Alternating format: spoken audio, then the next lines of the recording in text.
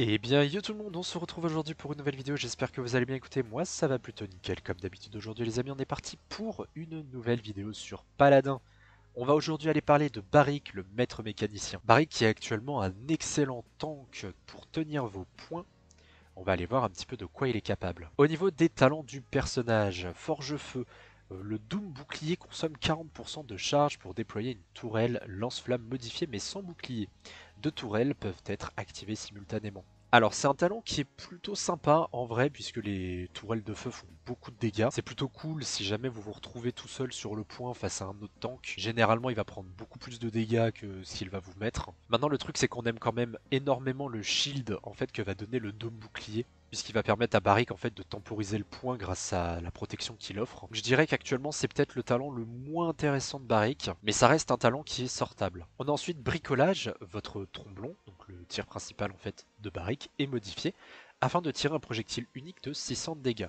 C'est un très bon talent avec le personnage qui va lui permettre en fait d'infliger plus de dégâts, puisque de base en fait Barik va tirer plein de projectiles partout, ce qui fait que son tir principal en fait ne met pas énormément de points de dégâts, mais avec le talent bricolage, ça le rend un petit peu plus offensif. Je pense que c'est un des meilleurs talents du personnage, et il y a forcément moyen qu'on le joue dans la vidéo. On a ensuite fortification, donc la barricade a 2000 points de vie de plus et se recharge 3 secondes plus vite. C'est certainement le meilleur talent de barrique actuellement pour euh, eh bien, rester sur le point. Parce que finalement, malgré le fait que les adversaires prennent du broyeur pour détruire votre shield plus vite, vu que vous allez le récupérer très rapidement, eh bien, vous allez juste pouvoir le spammer. Mettre du shield, ça permet de protéger vos alliés, de vous protéger vous-même, au niveau des compétences, eh bien évidemment, Barik est connu pour ses tourelles qui vont infliger des dégâts un petit peu à tous les adversaires un petit peu tout le temps. Il a également une mobilité plutôt sympa puisque vous pouvez en fait choisir la trajectoire que vous souhaitez atteindre. La barricade, évidemment,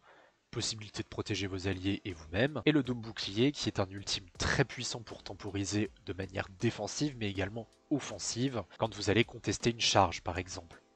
Et que vous voulez en fait forcer le point à atteindre euh, la finalité. Au niveau des decks, aujourd'hui, on va soit jouer eh bien, le talent de la barricade, donc on ira jouer une barricade qui aura encore des points de vie en plus, la possibilité de se recharger extrêmement rapidement. En gros, le but, c'est d'avoir une barricade qui est beaucoup plus difficile à tomber pour les ennemis et qu'on va pouvoir spammer plus souvent. On a également la carte qui nous permet de récupérer des points de vie chaque fois qu'on reste à côté d'une tourelle. Et on a cette fameuse carte qui est l'une des meilleures cartes à jouer dans un deck avec barrique, peu importe le deck que vous jouez, la mesure de sécurité qui vous permet de réinitialiser le temps de recharge de vos bots propulsés lorsque vos points de vie tombent en dessous d'un certain seuil. En l'occurrence, moi je l'ai mis à 3 points, donc c'est 30%. Mais si vous mettez moins de points, évidemment, euh, ça sera une valeur inférieure. Ou une valeur supérieure si vous mettez plus de points. Je ne vous conseillerais jamais de mettre plus de 3 points sur cette carte, pour la simple et bonne raison que euh, c'est un peu overkill. 30% de points de vie, vous avez largement le temps de voir venir le truc. Et je vous conseillerais vraiment au minimum de mettre 2 points dans cette carte quand vous la mettez dans un deck. Pour le second deck, on est plus sur un deck de tourelles. Le but en fait, ça va être d'aider nos tourelles pour que cette tourelle nous aide. C'est un deck un petit peu moins défensif que celui que je vous ai présenté juste avant, mais qui va également permettre à Barik de temporiser un petit peu le point. Puisque vos tourelles vont vous redonner 125 PV par seconde, qu'elles ont plus de points de vie donc elles seront plus difficiles à tuer, vous avez la fameuse carte mesure de sécurité comme je vous l'ai dit pour le deck précédent avec 3 points. On aura Bravé Audacieux qui va nous augmenter nos points de vie de 450, donc de prendre un petit peu plus de dégâts. Et on aura Réparation de terrain qui va faire que lorsqu'on sera à côté de nos tourelles, on va les soigner. Donc vous avez compris le principe du deck, les tourelles nous soignent, nous soignons les tourelles une entraîne merveilleuse. Et eh bien voilà, je pense que j'ai fait le tour un petit peu de Barrick, on va aller voir un petit peu de quoi ce petit nain est capable dans la méta actuelle. Allez, c'est parti pour la game Barrick, on sera sur Dôme Glacé, j'ai l'impression que cette map me surkiffe, on tombe dessus quasiment sur toutes les vidéos. Alors on est parti sur des compositions euh, très offensives là directement. On aura Shaline Mi-Furia en face et nous, euh, on sera accompagné d'un Victor et un Koga. Là évidemment, on va tout faire pour bannir des tanks points, on ne veut pas les adversaires en aient, vu qu'ils n'en ont pas pris. Voilà, là on enlève vraiment les tanks qui pourraient relativement être forts euh, sur euh, le point et nous embêter. Notamment Terminus hein, qui est très fort face à, face à Barrick. Et ça prendra une hache en face. Vous avez vu un full ban tank de mon côté. Et ça veut partir sur Rucus avec une série, c'est pas mal, on, va, on a une bonne compo là. Quelque chose de très offensif pour mettre une bonne pression sur les adversaires. Et ça prendra Makua. Très bien, des compositions plutôt sympas. On espère que ça se passe bien. Alors sur cette map et euh, par rapport à leur composition, jouer bricolage ça peut être assez intéressant euh, pour toucher, euh, notamment quand on, si on a l'occasion, hein, quand on push le point. maintenant je pense que défensivement ça restera plus intéressant de jouer fortification ici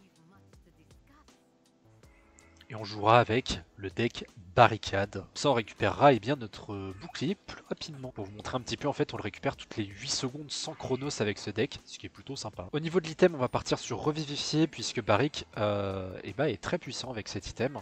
Et ça jouera Mako à point avec H en 9 tank. Ok. Et eh bah écoutez, on est parti ça a pas pris broyeur en plus, hein. ils ont pas peur de pas partir broyeur face à, face à Barrick.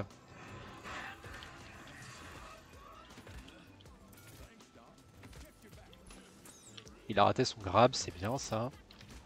On va faire attention de ne pas se faire tuer par Mive, vu qu'elle joue justice de rue.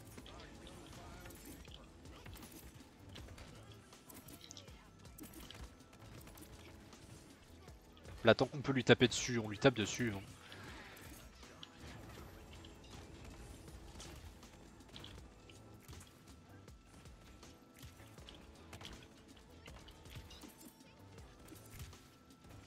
Hop, on met notre petit bouclier.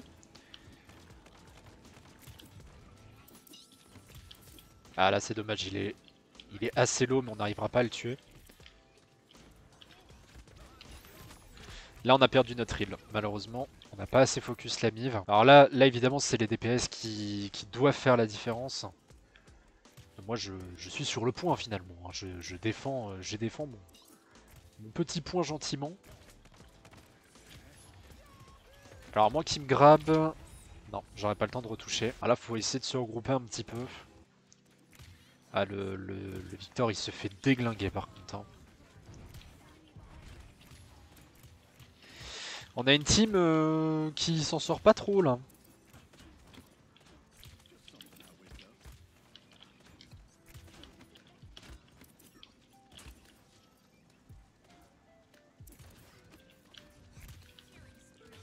Ah ouais, non, on a vraiment une team... Euh,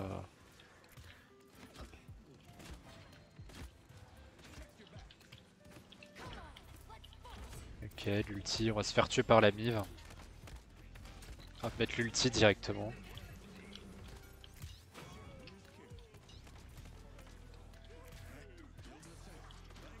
Comme ça, une minute 12, on aura peut-être le temps de le récupérer.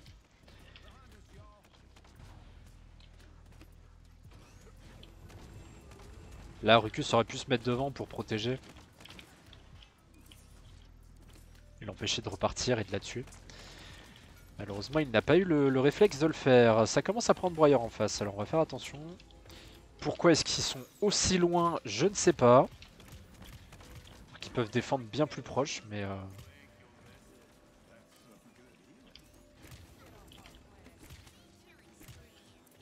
C'est la décadence tout ça là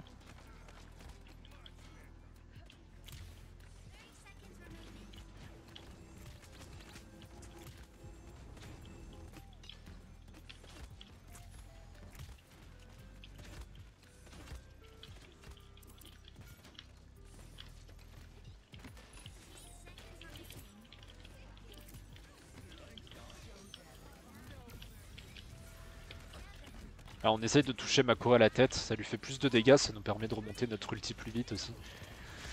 Ah ça par contre, le rayon euh, qui stun, en fait il n'y a, pas de pression quoi, il a rien. Moi je vais me barrer parce que... En fait il n'y a, a, pas de pression sur le point.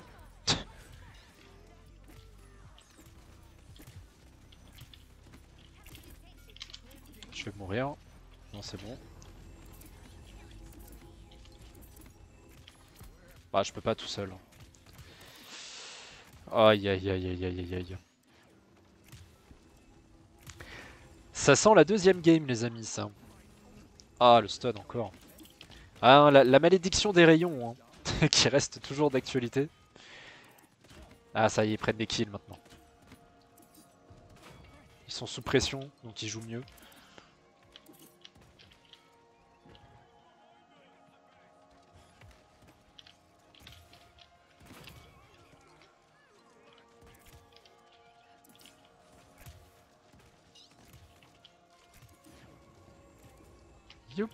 Ah, je pouvais pas la placer.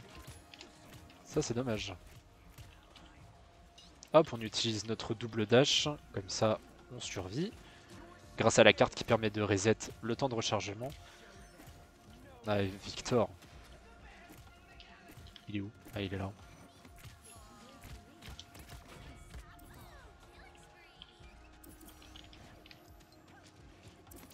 Non, je fais que retarder l'inévitable.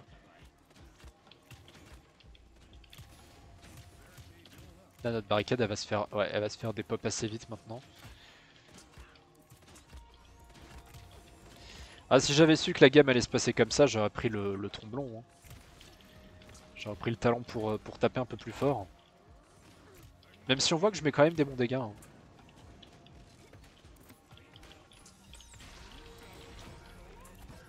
On va essayer de pas claquer l'ulti. Ce serait bien de le garder.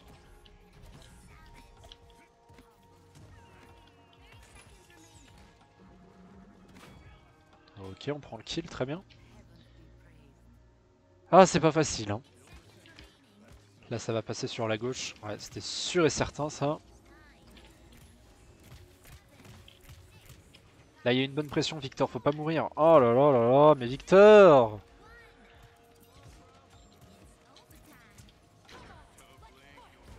Je suis obligé de claquer l'ulti maintenant.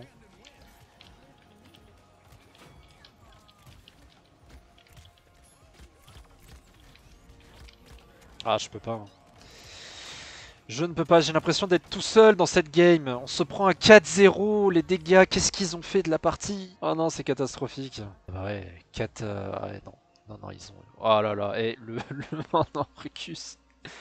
Ah, on passe à la suite. On fait une deuxième game. Allez, on espère que cette game avec Barrick se passe mieux que la précédente. On est avec une composition plutôt intéressante. Double tank avec Fernando et moi-même en tant que Barrick. On aura Tyra en DPS, Maldamba en soigneur et Vatou en tant que flank. En face, ça jouera Nyx, Miv, Lilith et Sati pour le moment. On va voir ce qu'ils vont prendre comme dernier personnage. Ils vont certainement partir sur un Makua ou, un, une H. Peut-être un Terminus en vrai, ça peut, ça peut être jouable. On est sur Île Grenouille. Île Grenouille, c'est une bonne map. Euh, moi j'aime bien cette map. Et ça finira la composition en face avec une Cassie, donc triple DPS, c'est étonnant. C'est rare de voir, euh, de voir des compositions comme ça maintenant. C'est cool. On va voir comment ça va se passer. Ils ont un bon gros potentiel de burst euh, dans la team adverse. Il va falloir faire très attention. La Tyra va être sous pression constante, je pense. C'est rare de bien la protéger. Et vous savez quoi? Moi, cette partie, je la sens bien. Je suis sûr que ça va bien se passer. Alors, cette fois-ci, est-ce qu'on partirait pas sur bricolage plutôt? Allez, pour la vidéo, on va plutôt aller jouer euh, bricolage. On partira sur revivifier. Alors il va peut-être jouer euh, plutôt off-tank le Fernando, mais, euh, mais, je pense que bricolage est vraiment bien là. Comme il y a 3 DPS en face en plus. On va essayer de se mettre...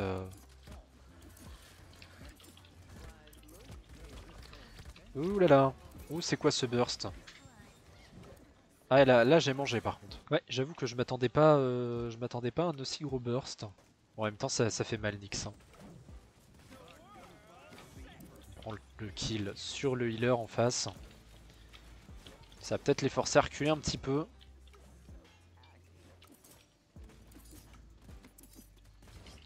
Mince, elle est pas morte.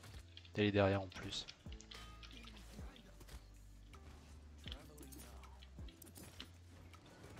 Et on voit là toute la force de, euh, de notre tromblon du coup avec les dégâts augmentés. Hop, on se protège un petit peu.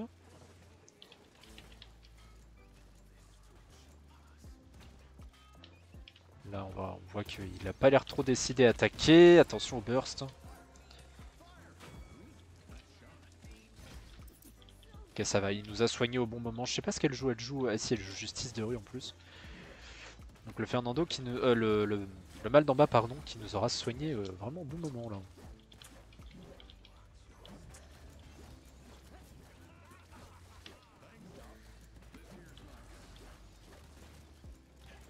Bon en vrai si on n'était pas en vidéo je pense que je serais reparti sur la barricade quand même.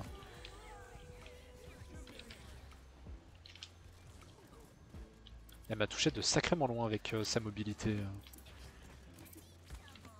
Euh, vite. Oui. Il va nous toucher. Ouais, de toute façon, euh, bon, bah là je pouvais pas faire grand chose. Si je restais là, je me faisais tuer par la cassis. Si je me décalais à gauche, je mourrais euh, à cause de la Sati. Donc là, il n'y avait point d'échappatoire.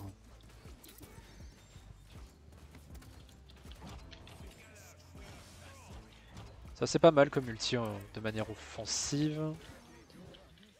Waouh, ça dépop tout le monde. Sympa, sympa.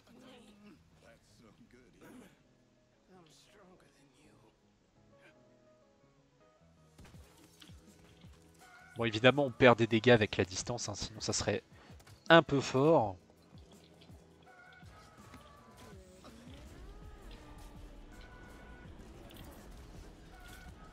on va faire attention parce que là... Non, elle a réussi à m'avoir. J'ai sauté en plus, hein. je me suis dit si ça se trouve elle va, elle va dasher en dessous de moi. Mais non, ça sera pas le cas. Malheureusement on meurt quand même pas mal. Ouah, le mal d'en bas il a... Ouh, il a volé.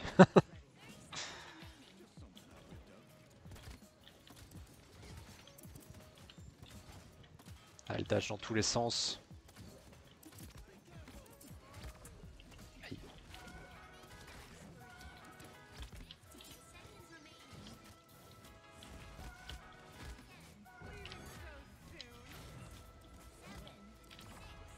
On va pouvoir utiliser notre double dash.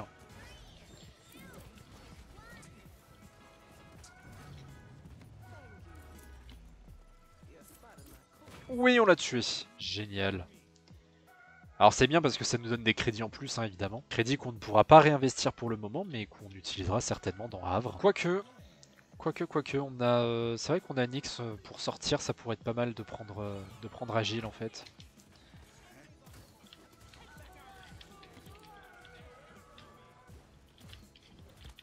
Ah dommage.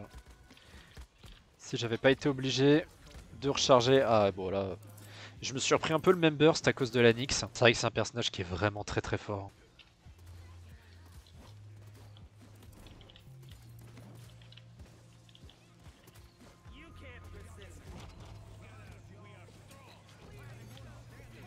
Là on met l'ulti, on va essayer de pas se faire tuer. Malheureusement. Le Damba était là, je crois. Bah il est... Ah non, il était derrière. C'est dommage. On va perdre le point là, ici, je pense.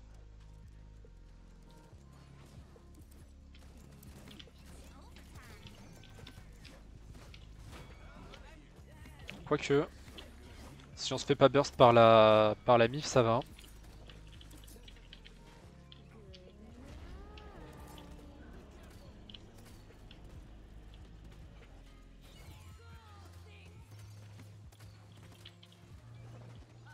On voit un mettre des dégâts euh, équivalent à à peu près 600 grâce à notre tir principal, ça fait une petite différence quand même. Hein.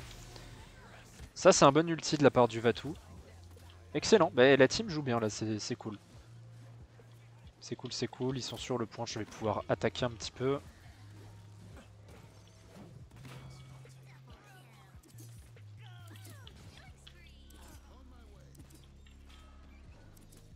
Bon, les shots en l'air qui passent pas trop là.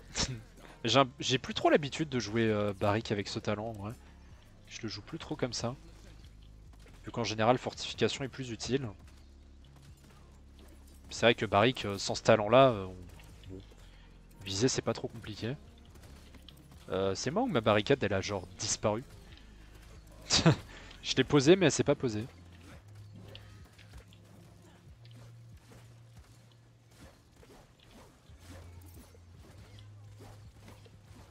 Va reculer là pour éviter de se faire prendre par la Nyx.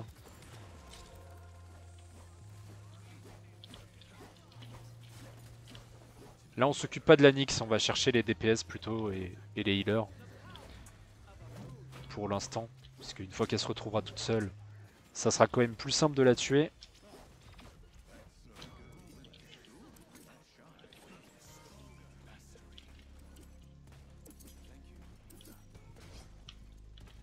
Ah, ça touche pas, dommage.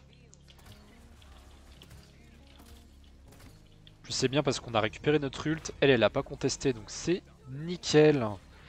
Et bah là on part vraiment sur une bonne base pour, euh, pour cette manche. On va juste faire attention à la mécanique de comeback qu'elle euh, n'arrive pas à nous avoir. Si la game dure, on partira sur Havre 2 et ensuite certainement sur Cavalier pour revenir plus rapidement ou Résilience pour éviter les contrôles.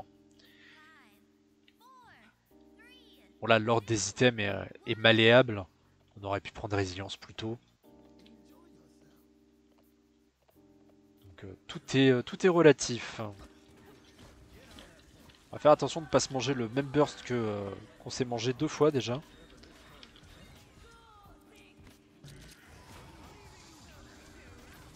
Là c'était un peu le rush euh, le rush ultime de la mort qui tue qui passe pas là. Euh... Ok c'est bon, j'ai survécu cette fois. Ça, Ok, ça va, l'ulti de Nando, c'est nickel. Très bien. On va pouvoir attaquer cette fois.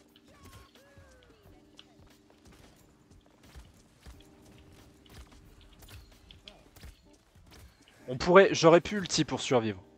J'aurais pu. Mais euh, je pense que le garder, ça peut être bien si jamais il rush le point.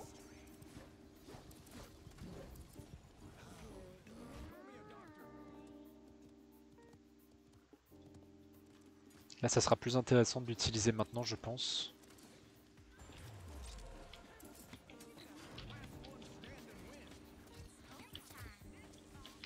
Ah, c'est dommage, ils sont low life là. Ah, dommage. Ah bah du coup j'aurais dû l'utiliser plus tôt. Là c'est euh, moi qui ai mal joué. On va prendre résilience. Quoique ça va, la team a le temps de retoucher, on peut peut-être euh, gagner le fight. Ah, c'est dommage. C'est pas grave. Elle prend 0 dégâts.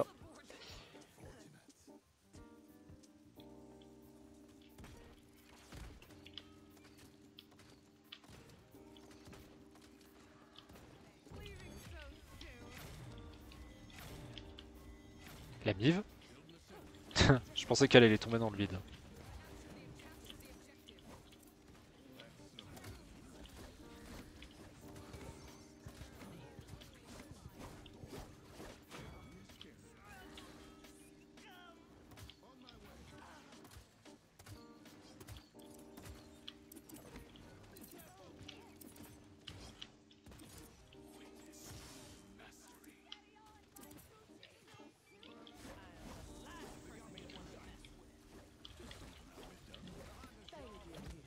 Oh mon shield qui a tenu littéralement 2 secondes avec le broyeur. Même pas 2 secondes en fait. Moins de 2 secondes.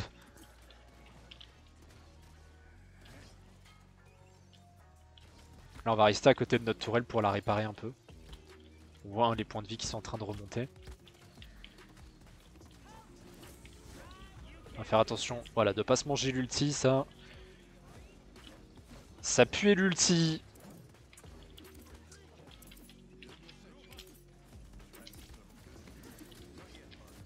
Allez, on va pouvoir repartir. J'ai encore l'effet de ma carte pour le reset en plus.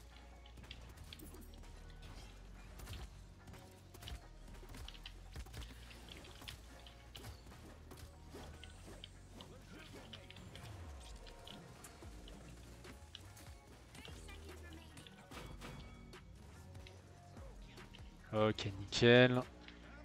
Vatou qui a pu gérer facilement la Sati en face. Et on gagne le fight encore. On a l'ulti, c'est nickel. C'est un ulti vachement tard là par contre. Hein.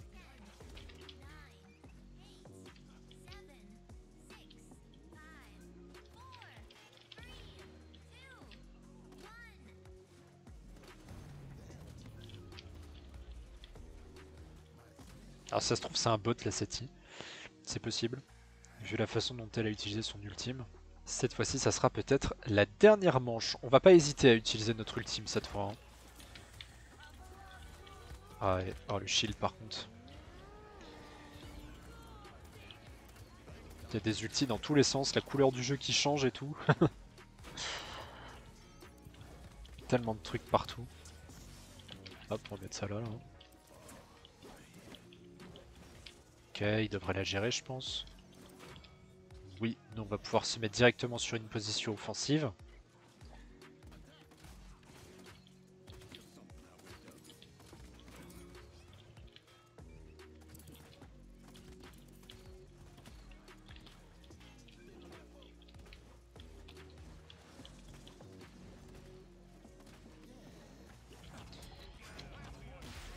Et ça sera la victoire. Très bien, et bah écoutez, euh, une première game un peu catastrophique, mais la deuxième se passe plutôt bien. Au moins j'ai pu vous montrer euh, deux talents différents. Et bien conclusion du coup sur Barik, et bien on voit que c'est un personnage qui peut quand même se jouer de différentes façons, comme on a pu le faire dans la partie précédente, mais que majoritairement on aura tendance à plutôt le jouer en tant que tank pour tenir le point. Barik, très bon personnage, euh, malgré tout, c'est vrai qu'actuellement il y a certainement des tanks points plus intéressants que lui, puisqu'il souffre quand même du fait que ce soit un tank qui n'est pas non plus énormément d'HP, et surtout que le broyeur va vraiment annihiler son shield. Mais ne sous-estimez pas le nain, ça reste toujours un très bon personnage. Enfin bon, sur ce, j'espère que cette vidéo vous aura plu. N'hésitez pas à laisser un petit like, à commenter, à vous abonner. On se retrouve très vite pour une prochaine vidéo. C'était Azerty.